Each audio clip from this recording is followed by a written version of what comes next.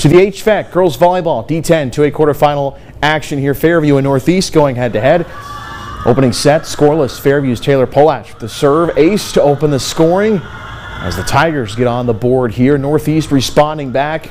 Grace Sanfilippo setting for Allison Gibson who comes up with the kill for the Grape Pickers as Northeast answers later in the set.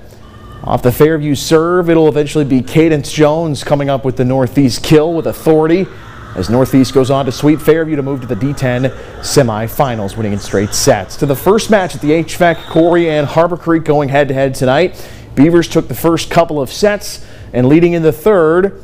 And here it'll be Peyton McCray with a kill for Corry, making it 15 to 5 at this point. Still in the same set off a of Corry serve. It'll be Sadie Dine with the block to score for the Beavers. And later, Harbor Creek will answer back with a kill as the Huskies will pick up a point from Taylor Vicky.